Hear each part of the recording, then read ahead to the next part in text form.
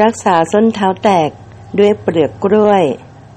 นำเปลือกกล้วยสุกนะคะ มาถูบริเวณที่ส้นเท้าแตก แล้วทิ้งไว้ประมาณ 10 นาที สารอาหารในเปลือกกล้วยเนี่ย จะช่วยสมานส้นเท้าที่แตกได้เป็นอย่างดี